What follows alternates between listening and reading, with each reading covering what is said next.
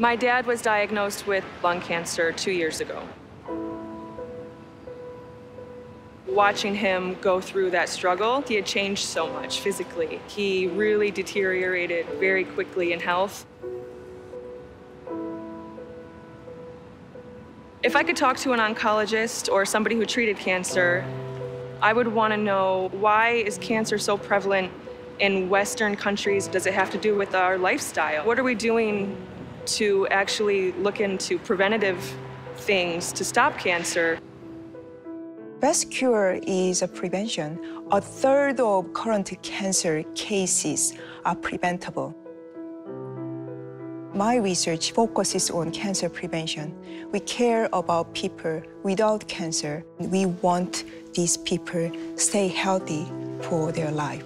I recently launched a new large population study to measure bacteria profile or so-called microbiome in our body. Then we would like to see which bacteria, which dietary factors are related to subsequent development of cancer. We have all different uh, genetic background. We have all different bacteria profile. One size doesn't fit all.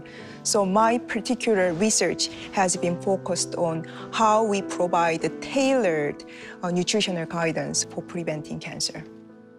We'll go to the community and provide how to effectively control these risk factors dietary factors, hormonal factors, environmental factors, genetic factors, and uh, microbiome factors.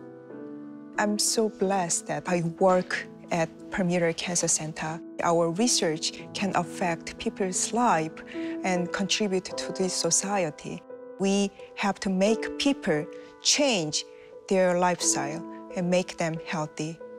We may be able to cure cancer in our lifetime, but I'm here to prevent cancer now.